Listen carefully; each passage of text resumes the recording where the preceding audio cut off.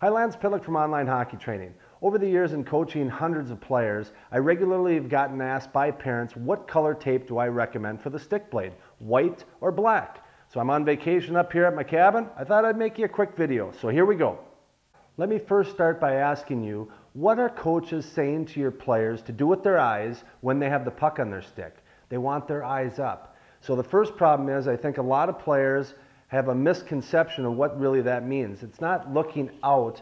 Basically, you're looking waist down. So I can, my field of vision is out like this, but I can still see the puck on my stick. So that's number one. The second problem is, is that most players, especially younger players, haven't acquired the skills, the stick handling skills, and the confidence in order to be able to handle the puck in a game or a practice with their eyes up. So now you know what coaches are asking your son or daughter to do when they have the puck on their stick. You make the call.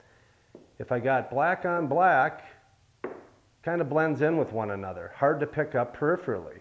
Now if I bring in the white stick blade, boy, the puck really highlights because I have that color contrast and now I can pick it up a lot easier when I have my eyes up and I'm assessing the ice surface trying to make my next player take a shot and I'm going to have a better likelihood to control the puck because I have this color contrast.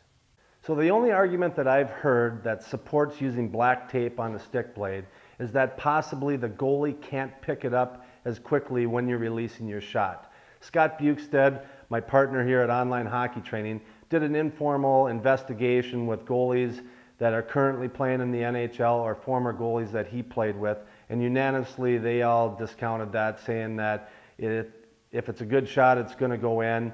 Their delay in tracking the puck usually happens because of screens or they can't see the puck, but really not because of the stick blade tape. So my recommendation is to use white tape on the stick blade. This it makes it easier for your son or daughter to be able to pick up the puck peripherally out of the corner of their eyes when they have their eyes up, surveying the ice surface. And over time, once they acquire the skills and they want to switch over to, to black tape, that's on them. But for younger, less experienced players, white tape all day long. I hope you enjoyed this video. Hope you found it useful. If you enjoyed it, give it the thumbs up and share it with someone in your hockey community. Thanks so much for watching and always remember to work hard and to dream bigger than everyone else.